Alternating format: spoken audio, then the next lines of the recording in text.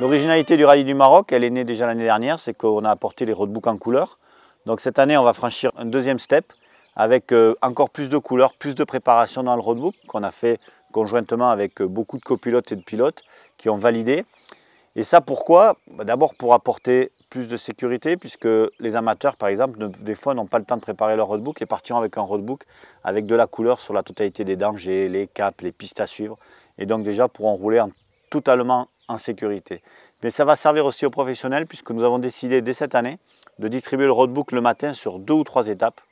Mais ce roadbook bien préparé leur permettra de rouler en toute sécurité et de pouvoir aborder donc leur étape tranquillement avec des couleurs. Donc ces codes couleurs, ils seront à apprendre, on va les distribuer avant.